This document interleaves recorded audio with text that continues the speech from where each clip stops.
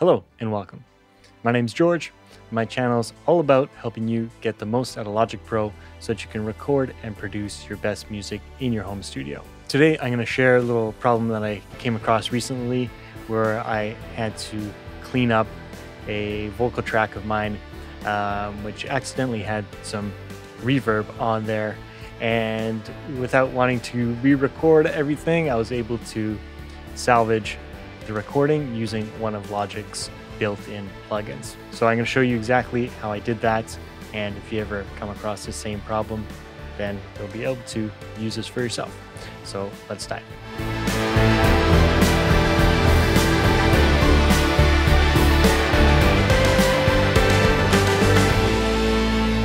So a few months back, I was creating a tutorial for my GarageBand to Logic Pro series, and this was quite a long video, and I accidentally was recording reverb to my voice at the same time, and it was baked into the file, and I wasn't able to easily remove it. And since it was quite a long video that I had just shot, I was a little bummed out, and I didn't really want to have to uh, re-record it all. So I was trying to look for ways where I could remove this reverb. And I come across a plugin in Logic Pro that I'd actually never used before, which is the AU Sound Isolation plugin. So I'm going to show you exactly how I did all that. So here's the project for the audio that I was recording, and I'll just play a little bit so you can hear what that sounds like. Might seem daunting at first getting started with Logic Pro, but as you'll quickly see, there's probably a lot that you already know just from GarageBand that'll transfer over.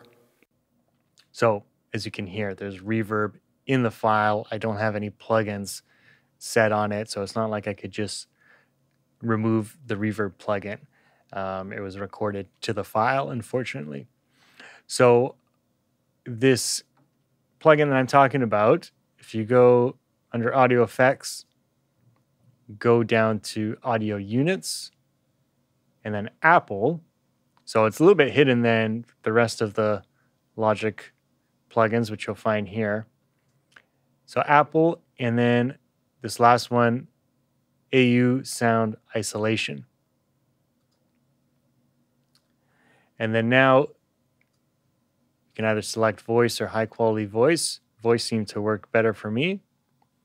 And you just have this slider that helps clean it up.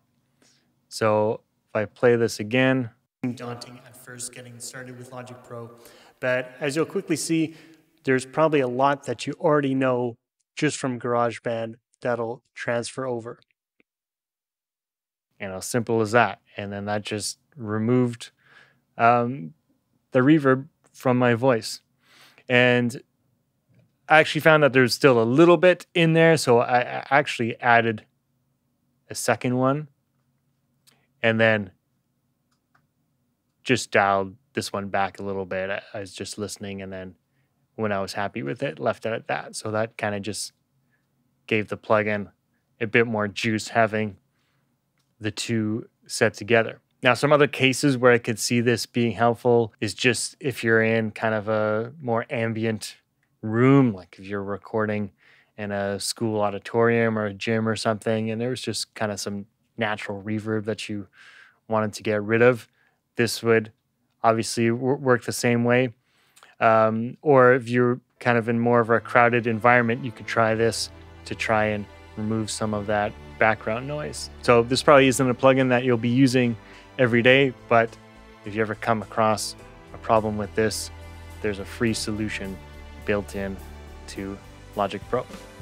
So I hope you enjoyed this video. If you have any questions, please leave those in the comments below. I want to thank you very much for all the likes and subscribes. And if you want to improve your workflow in Logic Pro, don't forget to download my free Ultimate Logic Pro Starter Pack. This includes my Logic Pro hotkey cheat sheet my audio recording guide, my mixing guide, my gear guide, and my Logic Pro session templates. I hope you enjoyed the video, and we'll see you in the next one.